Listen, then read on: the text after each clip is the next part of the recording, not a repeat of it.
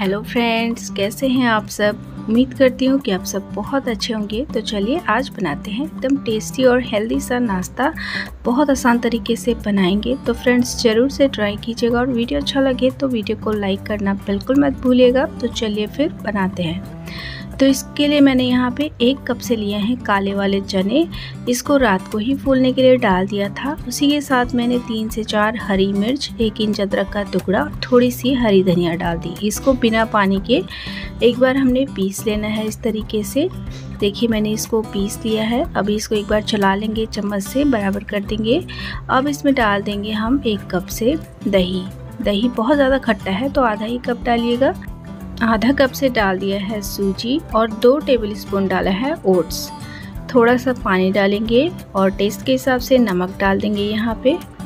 और इसको हमने फिर से पीस लेना है। थोड़ा सा पानी मैंने यहाँ पे और इसमें ऐड किया है और इसको पीस लेंगे। तो देखिए यहाँ पे बढ़िया से मैंने इसको पीस लिया है। अब इसको एक बड़े बर्तन में निकाल लेंगे।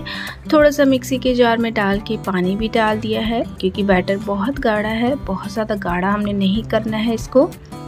तो इस तरीके से देखिए थोड़ा सा पानी डाल के अच्छे से मिला लेंगे और बैटर को अच्छे से मिक्स करने के बाद हमने इसको 10-15 मिनट के लिए छोड़ देना है और इस तरीके से हमने बैटर तैयार करना है। तो इसको हम ढक के रख देते हैं 10 से 15 मिनट के लिए ताकि अच्छे से बैटर हमारा फूल जाए।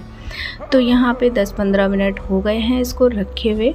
तो अब हम फटाफट से अपना नाश्ता बना के तैयार करेंगे। इसमें और कुछ भी नहीं डाल रहे हैं। तो चलिए फटाफट से नाश्ता बना लेते हैं। तो इसके लिए यहाँ पे एक तवा चढ़ा देंगे गैस पे। तवे को अच्छे से गर्म करेंगे। तेल या घी लगा के अच्छे से उसको ग्रीस कर देंगे।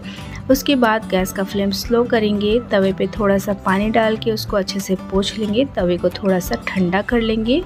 पानी डाल के अच्छे से इसको पोछ लेंगे और फिर हम इसमें डालेंगे ये बैटर। एक से डेढ़ चम्मच के करीब हम बैटर इसमें डालेंगे।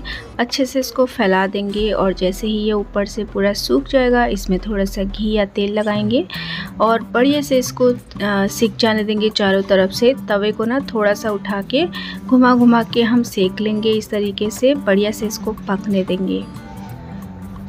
तो यहाँ पे ये बढ़िया से नीचे से अच्छे से पक गया है, ऊपर से भी बिल्कुल अच्छे से ये ड्राई हो गया है, बढ़िया से पक चुका है।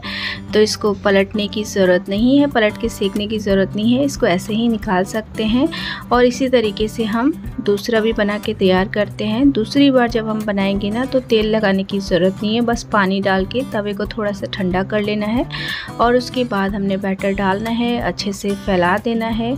और फिर इसको अच्छे से मीडियम आँच पे पकने देना देना है, जैसे ही ये ऊपर से ड्राई हो जाएगा थोड़ा सा घी या तेल लगा के इसको अच्छे से चारों तरफ़ से तवे को घुमा घुमा के पका लेना है।